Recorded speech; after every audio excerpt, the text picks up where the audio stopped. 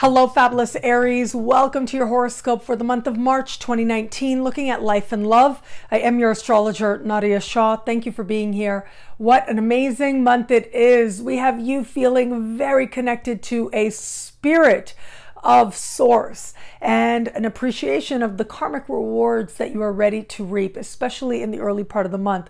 The energy does change though. It becomes very social and very love and partnership oriented as well. So there's a lot to talk about here. Let's start with what is happening, a cluster of events right around the 5th and 6th, depending on where you are on the planet. The first is Mercury goes retro. And in the same part of the sky as that Mercury retrograde, we will have a new moon. And this new moon is happening in the sign just before yours, along with Mercury retrograde in the sign just before yours. Now, this particular new moon is very dreamy. It's very aspirational, very hopeful, but also has a sense of manifestation, wanting great things to happen and making great opportunities happen for yourself. It will happen hand in hand with Neptune and speak in harmony with Saturn at the top of your sky and speak in harmony with Mars in a financial part of your sky. So, this tells me that along with this sense of that karmic reward and a feeling deep within you that your time has come, that you're ready to put aside your fears so that you can move towards the larger goals you have for your legacy and your life purpose on the one hand, but for others, it's going to be more practical in terms of the goals you have for your career, for your social standing, and for a sense of achievement and how that matches up in terms of money. Well, this is going to be a very blessed time in all of these regards. So, wherever it is that you are feeling inspired to go, you can go in that direction, but just know that chances are some of the best opportunities that are going to find you, especially in the early early part of the month are going to just show up for you. They will represent a sense of karmic reward, good things that come about based on the stuff that you did long ago and you forgot about. But now that good karma is coming back around to you. And very likely it is going to include some success and it's going to include some prosperity as well. Now, what we also have happening under the same sky, right around the same time, is the very big news of Uranus changing signs. If you remember last year, in the middle of last year, we got that little bit of a taste of Uranus leaving your sign, which is the bigger deal than where Uranus is going. For you, the fact that Uranus is leaving your sign, well, you saw what that could feel like in the middle of last year. You got a little bit of a taste of it. Well, now here we are, and we are going to more fully step into this energy. And Uranus will be here for a nice long stay right to 2026. That is a long time, but you are about to go on a journey towards greater freedom and authenticity. And I spoke a lot about this. There's a right here on YouTube, there is a special horoscope for Uranus. I'll try to link to it somewhere and have another look at that, as well as the special horoscopes on YouTube on my website, nadiyashah.com, where I dived into Uranus with a lot more depth. But for now, I want to put this in context with this new moon we have this uh, planet of Uranus moving into a part of the sky that Mars recently moved into. And it is Mars that is speaking in harmony with the new moon. And so there is this sense now of change, and for some, really dramatic change and clarity as to your money, as to your finances, as to how to create more prosperity or what will be a more rewarding journey towards greater prosperity for you. And yet, for others, a lot of this is going to come back to and be rooted in an understanding of self love and self value and self respect, and how that shows up in any area of life, not necessarily just having to do with practical matters of money that you earn and money that you spend. And so this is already an area of focus, an area of consideration. Because Mars moved into this part of the sky where Uranus will move into, the sign just after yours, uh, last month. And so you've already been having a little taste of this. Wherever Mars goes, so goes an area that is of special importance to you because Mars is your ruling planet.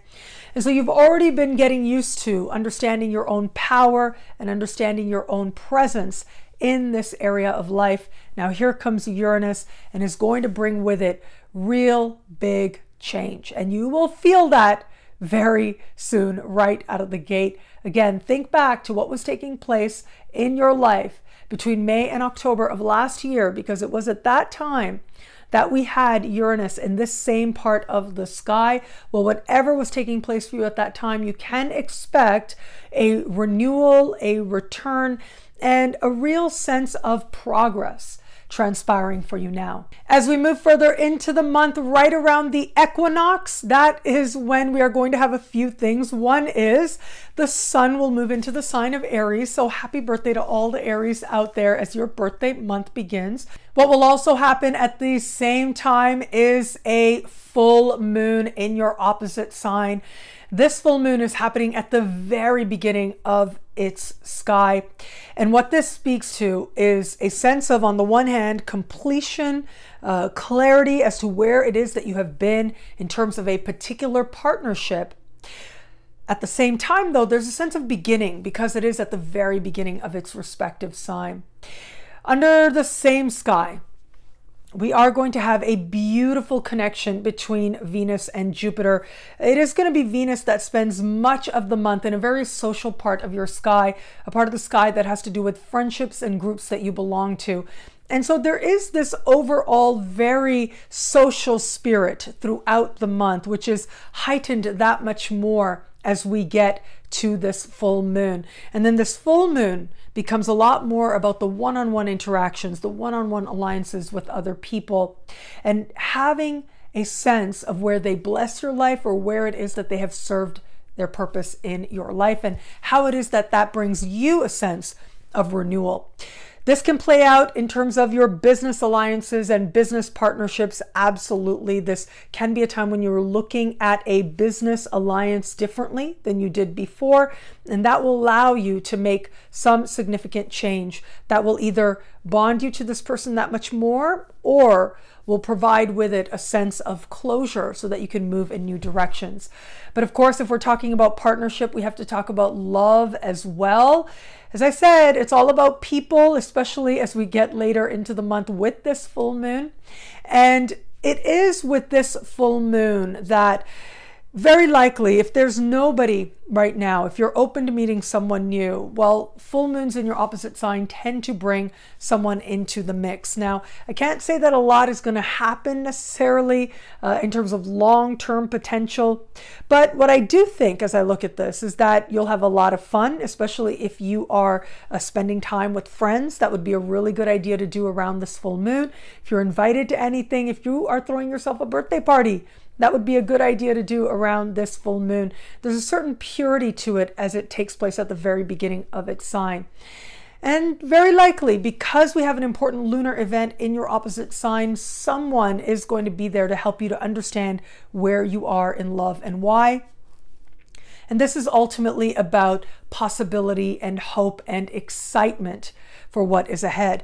Now, keep in mind, Venus will also, under the same light, will be speaking with Mars in a conversation of tension.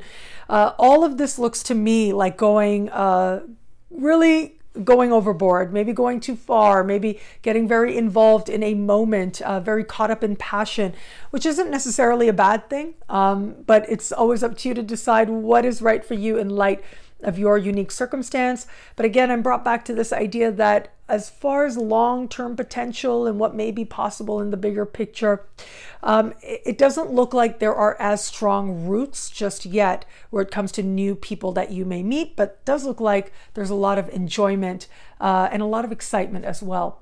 Now, for those of you who are getting to know someone, I feel like this full moon is very much about you considering the greater possibility, but it's also going to illuminate whether or not this person is relationship material for you or even a realistic possibility. And by realistic, I mean, is this someone that you're just interested in? Or is this someone that you're getting to know? Is this someone that you're hoping will develop into something, but it hasn't yet? Or is it that you're actually dating this person? There is an active courtship taking place. Well, whom this person is for you and what is meant to go forward from here is going to become very clear for you, especially around this full moon, which happens right at the equinox. And this does suggest that this moment of clarity in some way does energize you, but at the same time, there's a sense of believing that there's love in the world for you. That's thanks to Venus connecting with Jupiter. And your friends may be the people who remind you of this or who give you a perspective that allows you to connect with wisdom.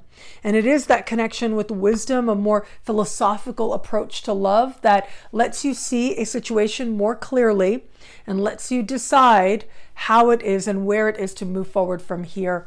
And so, for some of you out there, it can be that if you are getting to know somebody, uh, this can be a time that that process accelerates and you truly start to envision them as part of your future. For others of you, it may become clear that this may not be the person for you, but regardless of what your unique truth is going to be, it is rooted in emotional knowing.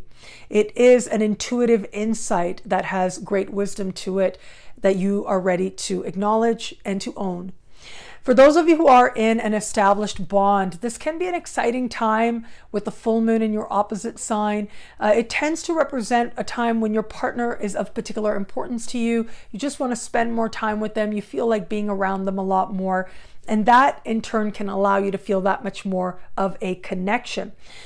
As far as like developments actually taking place, well, look, if you are in an established bond, I think that that uh, Jupiter and Venus in harmony under the light of this full moon, and you add Mars into the mix as well, uh, chances are there's going to be some growth. There is going to be some development that allows you to feel uh, awakened and impassioned by your partner, but also very hopeful about your future. And so it could be that the two of you are making plans together, uh, considering a more idealistic future together uh, with yourselves. But this is going to bring with it some awareness, some acknowledgement on your part, and also some sense of closure. So if something's been bothering you, or the two of you been going back and forth on a particular issue, not sure the best decision to make, well, it is going to be the light of this full moon that helps the two of you to get clear and be rooted in that clarity, but also excited about the future ahead. What I love about this month for you, well, look, there's so much here, but I do love how in the early part of the month, the energy is so spiritual. It really is about you recognizing how it is that the wisdom is playing out in the smallest moments in the tapestry of your life it may be in the early part of the month that you're particularly tired. You may need more time to actually sleep and, and delve into the dream space. That would probably be a good idea because it is when your conscious defenses are down that your psyche will be able to speak to you. But not only that, you can understand this as the wisdom of your ancestors coming forward, of your spirit guides coming forward. And with a month like this, they have very good news for you. Well, thank you so much for watching. You can get a video like this every week by logging on to nadiyashah.com. Sign up to be one of my superstars. Superstars get expanded, exclusive video scopes every week, unlimited access to special horoscopes, a dedicated Facebook group that's very active, and so much more. All of this in the superstar space. I look forward to meeting you there. It'll be a great month. Enjoy.